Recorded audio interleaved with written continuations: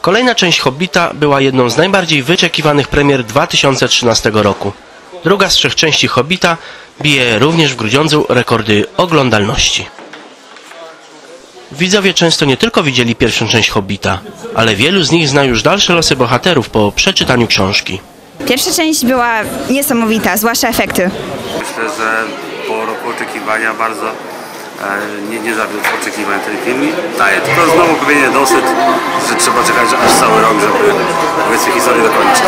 Jak sądzicie, jak potoczą się losy bohaterów? Pamiętacie w ogóle pierwszą? A, czytałyśmy książkę, więc e, wiemy, jak potoczą się losy, aczkolwiek e, Jesteśmy ciekawe tego, co, y, co przygotowali dla nas reżyserzy. Ale cała część tutaj trylogia, pewnie Władca Pierścieni, także opanowana. Tak, jest, jestem fanem od wielu lat i niejednokrotnie już przeczytałem e, tą, te powieści, także z nieszczęśliwością czekam na kolejne części. Lepsza książka czy ekranizacja powieści? A może jedno i drugie? A jak sądzicie po pierwszej części, lepsza książka czy sam film? a, co prawda pominięto kilka scen, ale film jest naprawdę niesamowity. Co lepsze? No mimo wszystko jestem jednak miłośnikiem e, literatury. Filmy jest to pewnego forma wyobraźni e, reżysera.